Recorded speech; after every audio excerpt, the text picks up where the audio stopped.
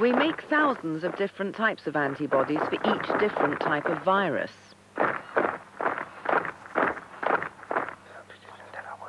If a gang of viruses revisits your body, the antibodies will recognize them and zap them.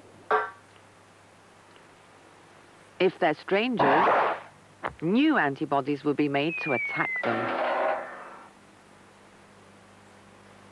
These new antibodies will be on standby in case the gang revisits. Vaccines warn the immune system to recognize viruses and make standby armies to attack them. But some viruses are smart. They can change shape or disguise or hide inside normal cells.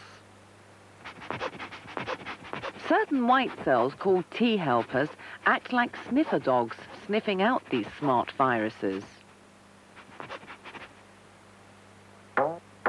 They warn the system to make the right kind of antibodies. Developing a vaccine against HIV is difficult because the virus is the smartest of them all. It uses disguise and changes shape and hides inside cells.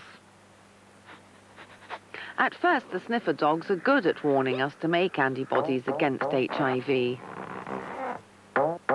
But after a while, HIV invades them and multiplies. The new HIV viruses kill more T helpers. And when most T helpers are dead, the immune system can no longer defend itself against disease.